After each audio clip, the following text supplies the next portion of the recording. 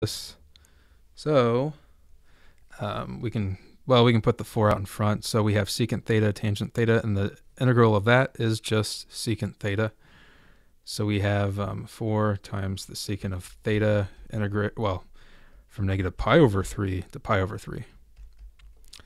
Um, secant's the same thing as like 1 over cosine, so it's kind of like r over x.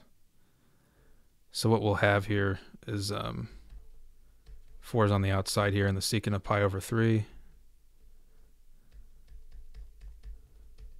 minus the secant of negative pi over 3. All right, so what we have 4, this ends up being 2, and the secant of, um, well, both quadrant 1 and 4 are positive, so it's going to be 2 minus 2, so it's going to be 4 times 0, which is equal to 0. And that's it. Okay, I hope this helped you out. I appreciate you watching the video, and you have yourself a great day.